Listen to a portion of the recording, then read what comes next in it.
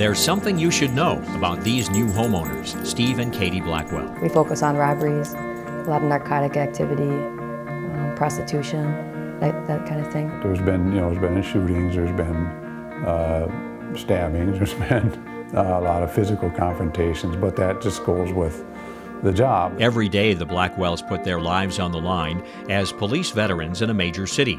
And when they're not battling in the streets, they're fighting in the desert. There's never many a times when, you know, my wife's team was in front of me and I'm watching them get ambushed. Steve and Katie served together in Bosnia and twice in Iraq. And then uh, I think I think it makes us appreciate things a lot more. Uh, that every day is a gift, you know. For us, it is. We don't take advantage of, of what we have, and we really appreciate all the things that we do have. Including their beautiful new home. The Blackwells say there is no way they would own a home like this if it wasn't for this special lady. These are people who serve their community. These are people who put their lives on the line for us every day. And we're in the business of real estate, and so we want to help them. Ruth Johnson, along with her children Casey and Mark and her sister Helen, run a special kind of realty company in Minneapolis. It was Mark's idea. And we could call it Homes for Heroes. Well, that was it yeah, I thought it was a brilliant idea. A veteran in the realty business, Ruth sold her company to create Homes for Heroes. That's a beautiful thing when you can take all your knowledge and all your past experience to grow a company that helps people.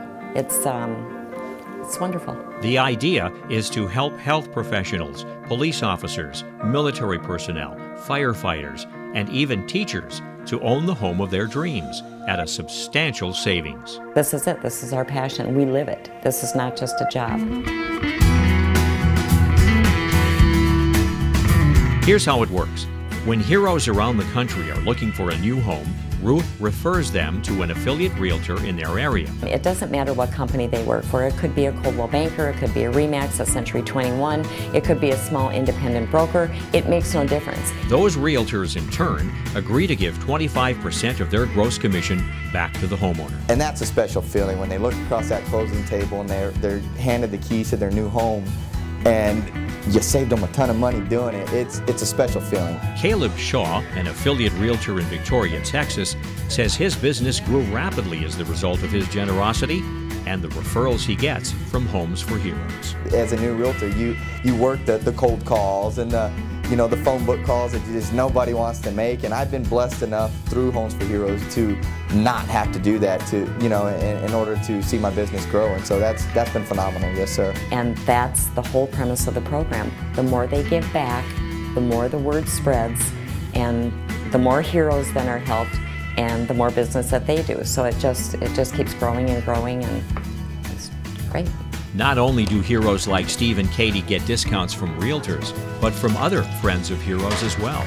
Substantial savings come from lenders, title companies, and even home inspectors. This isn't this isn't a marketing scheme. This isn't a, a get rich quick at the expense of heroes. This is real. And, and when they say that there's no red tape, that there's no extra paperwork, they mean it. And there is no catch.